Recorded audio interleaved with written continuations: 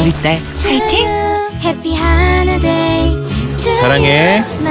11월 1일은 한우로 맛과 건강을 나누는 또 하나의 명절입니다. 알면 알수록 우리 한우